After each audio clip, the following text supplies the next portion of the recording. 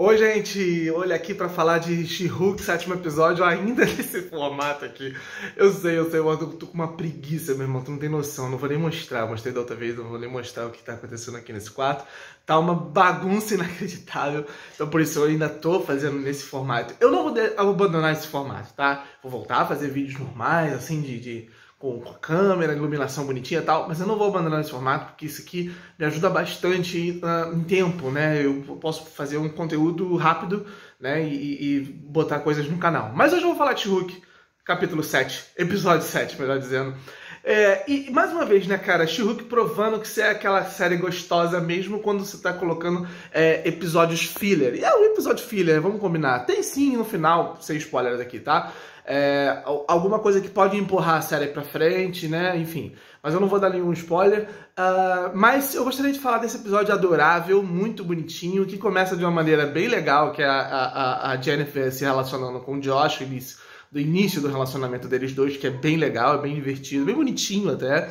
É, e depois nós temos a Jennifer preocupada porque o Josh já não fala com ela há algum tempo, desde a sua última mensagem com ele. E ela acaba, não por vontade própria, indo pro retiro do Emil Blonsky, o abominável. Pois é.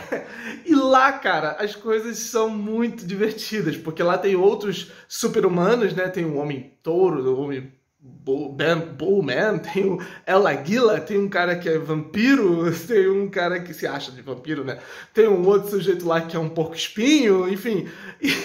É um, é um negócio tão ridículo, mas chega a ser tão divertido, tão bacana. Mais uma vez, pelo carisma maravilhoso da a Jennifer Waters. Oh, meu Deus, esqueci o nome da atriz. Agora sem corte vai ser uma merda, hein? Como é que eu vou cortar e botar o nome da atriz agora? Ai, meu... Tatiana Maslany, isso mesmo.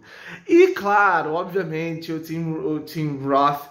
Uh sensacional, cara. É divertidíssimo essa abordagem nova do personagem, completamente diferente daquele que a gente conhece dos quadrinhos e tal.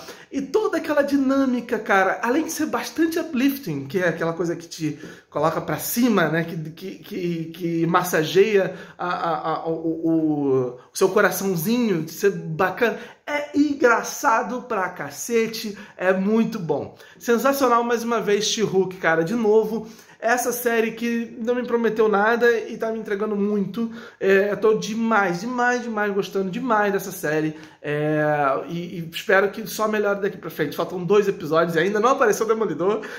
A Disney, safadinha, botou no IMDB lá o Charlie Cox aparecendo em nove episódios lá no início da temporada. Conforme ele foi não aparecendo nos episódios, eles foram tirando. Se você for no IMDB, tu vai ver que ele aparece em dois episódios, que exatamente são os dois que faltam para concluir essa primeira temporada. Enfim, ah, tem, olha só que legal, tem rumores aí de que World War Hulk, né, que é o, o Guerra Mundial Hulk com a Tatiana Maslany e com o Mark Ruffalo, é, pode rolar. Então, assim, é uma das HQs mais maneiras do Hulk, tá? E, pô, e, e, tem uma, uma como é que é falar, uma sequência do planeta Hulk, que é, é maravilhoso, né, do, do Greg Peck, Gregory Peck, né? E sensacional. E espero muito que isso role mesmo o World War Hulk, que é uma saga nos quadrinhos muito bacana.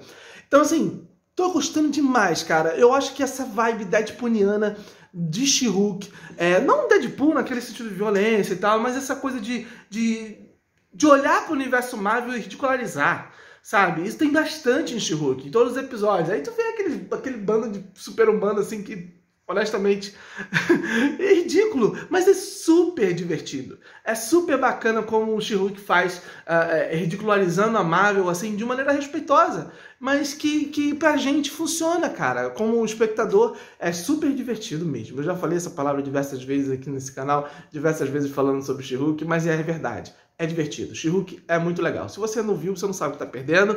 É muito bacana. A melhor série da Marvel esse ano, talvez a melhor produção da Marvel é, já lançada esse ano até agora. Lembrando que ainda temos Wakanda Forever. Uh, enfim, é, eu gostei demais, estou gostando demais de She-Hulk.